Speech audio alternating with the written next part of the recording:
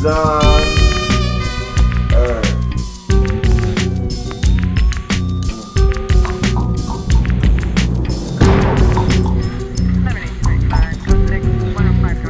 Before me, hip hop crumbles, it's chit chat, gibber jabber, and mumbles. It's my music, don't abuse it. I listen, don't confuse it. Public speeches don't need music. They need content, form, a message out of the norm, a sermon.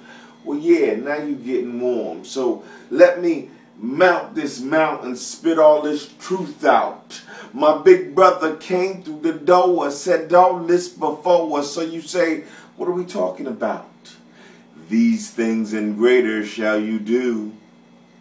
I'm talking for him, but I'm speaking to you. These things and greater shall you do. You never find me with a black robe on trying to judge. See my IRS tax forms? We be trying to fudge.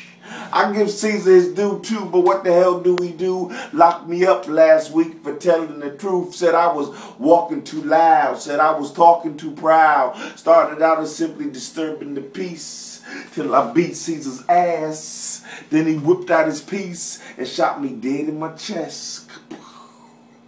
After the bullet went through my left breast, my physical fell to the ground, but my spirit rose like yeast. I paused and bowed my head to the east, was escorted into a room with a heavenly feast, welcoming me back from my long journey through life. My big brother was there, Jesus the Christ. He asked, How was it? I said, Pretty motherfucking nice. Hungry, he said, yeah, but I need more than bread. So he started schooling me and filling my head with that new shit I had never heard before. He said, baby brother, I keep moving and building, but uh, I need you to go back and teach the basic lessons some more.